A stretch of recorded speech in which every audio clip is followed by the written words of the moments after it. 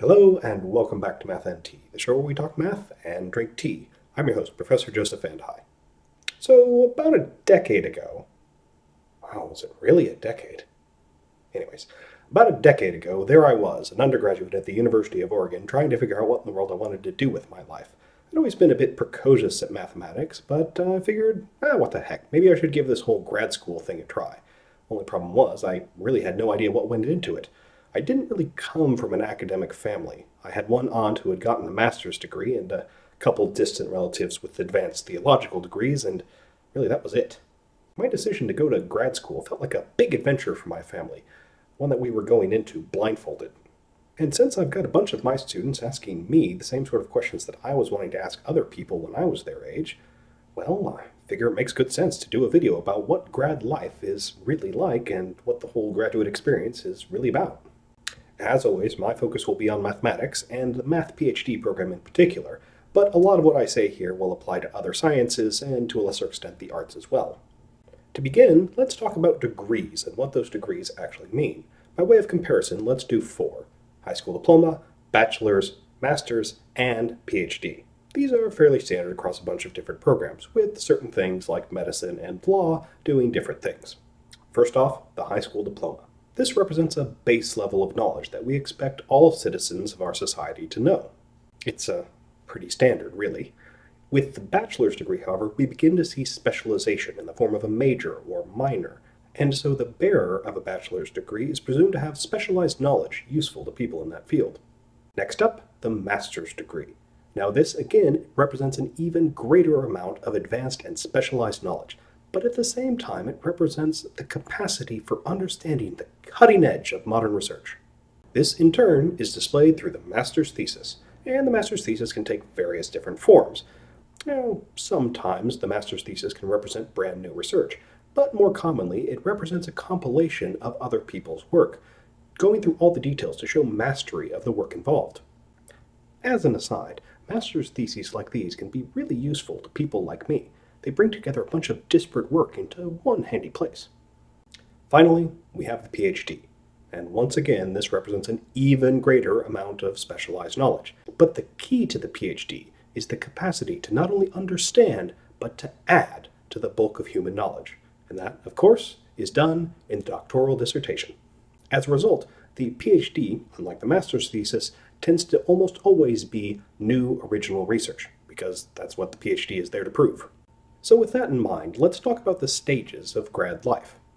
With a master's program, there's not terribly much that's different from a bachelor's program, except the whole writing of the thesis thing. So you take some more courses that are a bit more intricate and a bit more complex, but the main deal is writing the thesis. So that involves finding an advisor, choosing a topic, researching, and then writing the darn thing. As a result, master's programs can really vary in length. I've heard of anywhere from one to three years. Doctoral programs, on the other hand, take a lot longer. We're talking five to six years being pretty common. Since they're so much longer, doctoral programs have a lot more distinct stages. Three, from what I would think of. The first of which is the written exam stage. Now, these go by a lot of different names comps for comprehensive exams, quals for qualifying exams, but the name doesn't really matter. They're written exams. Anyway, uh, most PhD programs will require you to pass a certain number of these exams before you move on with the program. I think I had to do about five. Now, usually there will be one in real analysis, one in abstract algebra, and then from there you kind of have a bit more freedom to choose which ones you want to do. Each exam has an associated class, and in some places you can substitute a good grade in the class for a good grade on the exam and just never take the dang thing. Now, let me emphasize these exams are no joke, they're hard. One of them that I took many years ago had about six questions. You only had to answer four of them over the course of three hours, and you passed if you got two right and an additional one, maybe half right or so. Like I said, they were hard. It was pretty common to see students retake exams because they couldn't pass them the first time, and although rare, some students did drop out because they couldn't get the grade they needed. The next phase is the lead up to the oral exam, Several things actually happen between taking the written exams and taking the oral exam. Typically, you will find an advisor, you'll put together a thesis committee, and you'll choose a topic that you want to start working on for your dissertation. Most of the oral exam actually consists of a presentation given on either what you hope to do or what you've already done with your research.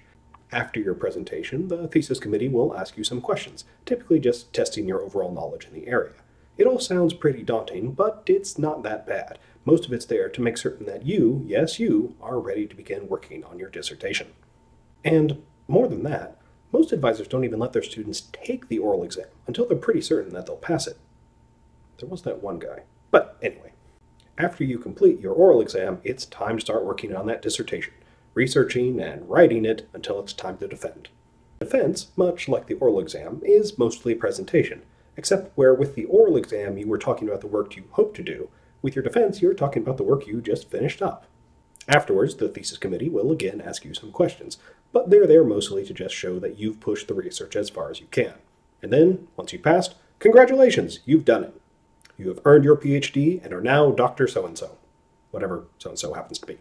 I'll add that, just like with the oral exam, most advisors don't even let their students take their defense until they're sure they'll pass it. Now, of course, there's a whole lot more that goes into grad school and grad life than just those things, but that's at least a good start. And, anyways, um, I'm out of tea. Bye.